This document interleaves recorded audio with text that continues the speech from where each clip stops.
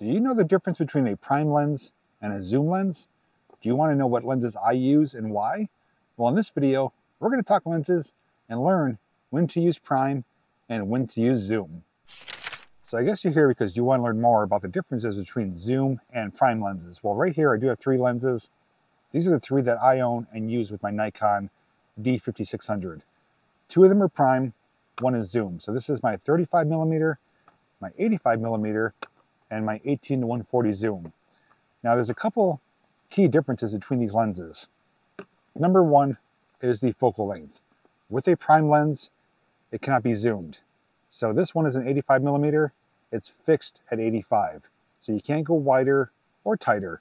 It's gonna be fixed at 85. Where the zoom, 18 right now is the widest, but it can zoom to 140. And you may be thinking, well, why wouldn't you just use this all the time? Well, there's more than just that as far as focal length that does matter between prime and zoom lenses. One of the major contributing factors as to why people use a prime lens, including myself, is the large aperture. Now, as we learned in the past, large aperture is a smaller number, but that means a larger opening allows more light to come in. And that factors in two positive ways. Number one, a large aperture, which in this case is 1.8, allows a shallow depth of field, which means your subject will be in focus and the background will be all blurred out. It gives a bokeh effect. So your subject will be the primary focus. Everything else behind them is typically blurry and out of focus intentionally to give the subject the main focal point. Secondly, with a large aperture, you can do more low light photography. Since it allows in more light, you don't need as much light to get a properly exposed photo. Comparing it to my zoom, and this is only for the lenses I own, they don't apply for every lens out there, there are exceptions. This has the largest aperture of 3.5. So that's a big difference right here, 1.8, 3.5. And 3.5 is when it's on the widest angle of 18. Once you do start zooming out, the aperture does increase, which means the opening gets smaller, allows in less light. Now you don't have to obviously shoot at 1.8 the entire time. You can increase the aperture, bringing it down up to usually 22. And what that does though, not only allows in less light, but if you're shooting in daytime, it doesn't really matter, but it also allows more of the background to be in focus. So you do have some flexibility with this lens, as well as this one, but a bit more with a prime lens. Now there are some pros and cons with using prime and zoom lenses. So I can tell you, number one is that when it comes to composing your subject, you're going to have a lot more versatility with your zoom lens. You can stand in one primary position and go either wide or tight based on how you want the photo to look and how close you want the subject. Where with a prime lens, you have to physically move yourself closer or further to the subject to achieve the same result. Now in just a moment, we are going to be doing some example photos with my subject here, Mr. Jason Voorhees. He's going to be our subject for demonstrating the differences between zoom and prime shots and the aperture shots. Before we do that though, I want to let you know what I use and why. So I have three lenses and for me, that's all I need. And it's really depending on what I'm shooting, what my subject is. So just some examples. If I'm going to do portrait photography of shooting a person, typically I want the background to be blurry. I want the person to be the main focus and to stand out and to have separation from the background. When I'm doing that, I'm primarily going to use my prime lenses just because I could go down to 1.8 and I'm guaranteed to get that nice blurry background. If I'm doing, say, nature photography, going out to a social event, and I'm not really worried about lighting conditions, I'm to use my zoom because I either get wide shots or I could stand farther away, zoom in and get a nice tight shot. So it allows me some flexibility and versatility. Now, if I'm to be doing primarily low light nighttime photography, it's to be suitable to use my prime lenses so I can keep the aperture nice and low or nice and large, however you want to look at it. Everyday use though, most people can get away with a zoom lens most cameras do come with a kit lens, which is a standard lens that zooms out maybe like 18 to 55. This one though, I did choose specifically for the longer zoom. If you're not doing portraits, not doing low light photography, you could get away with nearly all shots using this lens. If I do want to do some more creative shots, especially low light and getting a shallow depth of focus, prime is what I use. I would say on a percentage scale, I use my 18 to 140 zoom about, I'd say 70% of the time, where I'll use my prime 30%. Only because I have to physically move closer or further away to properly compose the shot, where with the zoom, I don't have to do that. And I'm going to demonstrate that now. We're going to do some example shots. I'm going to set up Mr. Voorhees here.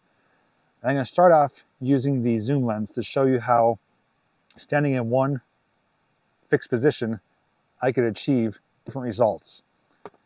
Then we're going to switch to the prime lenses and show you how I have to physically move myself closer or farther away to achieve those same results.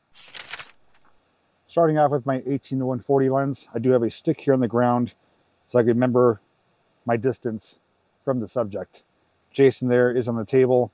I'm not to be worried right now about the aperture. It's more about the focal length. So I'm on the widest shot right now of 18.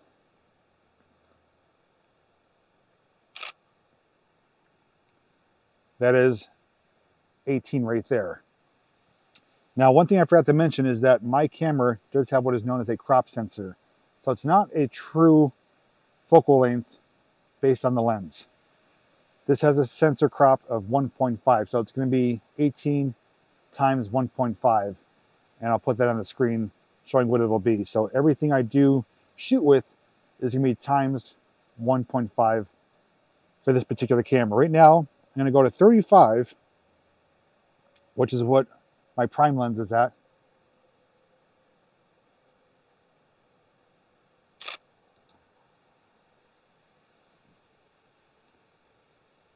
And now I set it to around the 85 mark.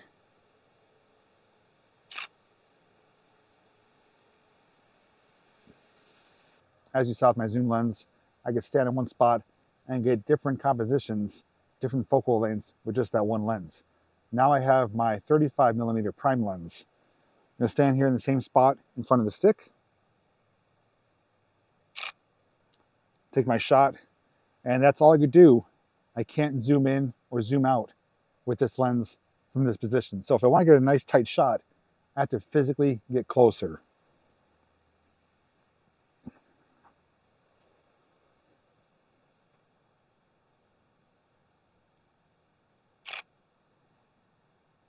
So for a composition like that shot, I had to physically get closer to the subject.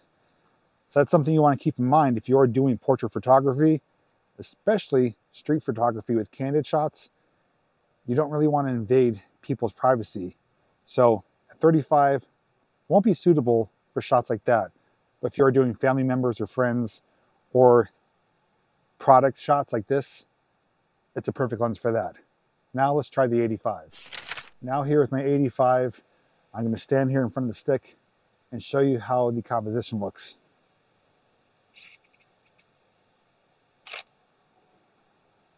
it's definitely a tighter shot compared to the 35. Now, if I do want to get a really wide shot of Mr. Voorhees, I have to back up. I cannot zoom out because it's a fixed length of 85 times my crop sensor of 1.5. It's not even wide enough. I have to keep going even further. I'm probably outside of the camera view. But in order for me to get that wider shot, I have to physically move away from the subject. Now this lens is perfect for candid street photography because you don't have to be close to your subject to get them composed properly. And also with that large aperture, will blur out the background. Now, if I want to get a really close, tight shot, I don't have to move all that close. This is a pretty tight lens. So I could go maybe right here. And there you have it. So those are the key differences between zoom and prime is your focal length and your distance. If you want to physically get creative, moving yourself closer or further away, prime's going to allow you to do that. If you want to have versatility to stand in one general area and get creative with wider, tighter shots, zoom is going to do that. Just to briefly demonstrate the aperture, I did bring it down to 1.8, which is the largest for this lens. And you'll see the background is going to be blurred out. Then I'm going to do the next shot with the exact opposite of a really small aperture.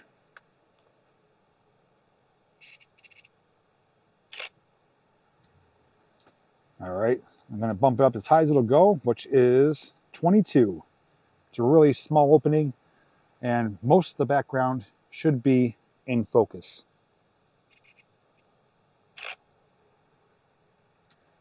Huge difference there. So even though it is a large aperture lens, you don't have to shoot it like that. Now here's a tip for you. If you do have a lens that doesn't have a large aperture of say 2.2 or even 1.8 like my prime lenses, you can achieve similar results using whatever lens you have. There's two ways to do it. So number one is you want to have your subject as close to the camera as possible and as far away from the background as possible to achieve that blurry background. Right now, where he's sitting, the background distance is roughly 20-25 feet away. I'm gonna get the camera as close as possible so that he's in focus and have my aperture as large as possible, which is 3.5. And we're gonna see what the results are with that.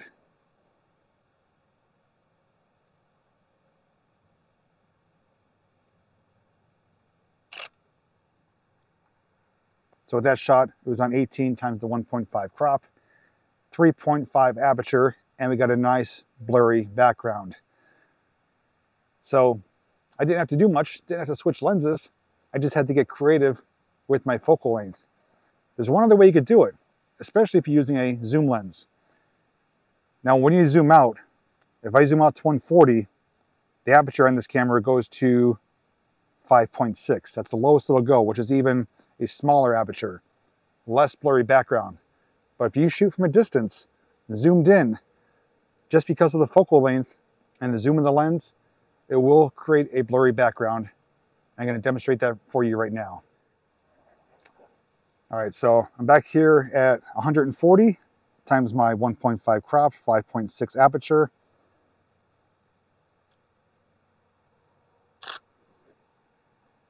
And there we go. He is the main focus. Background is blurred out. So that is a way you can achieve that blurry background if you don't have a large aperture lens. I do want to thank Mr. Voorhees for being such a good subject. He was quiet, patient, doesn't say a lot, but he takes some really good photos. He's a great subject. So hopefully by now you have a better idea as to which lens is the one for you and the key differences between prime and zoom. Which one should you use for yourself? It's based on everyone's individual needs. If you're to be doing a lot of portrait or low light photography, I do recommend getting prime lenses, but you will need to get a few of them, which could get costly. I have two, one for a wider, one for a tighter shot. That's suitable for me.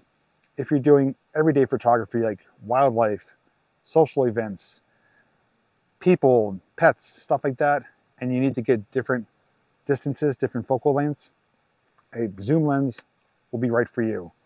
Especially if you're not worried about or not shooting much at night or not worried about that sharp, crisp, blurry background. But as we saw, you can still achieve it if you do get creative.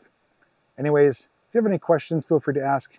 And lastly, I'll see you behind the camera real soon. Thanks for watching.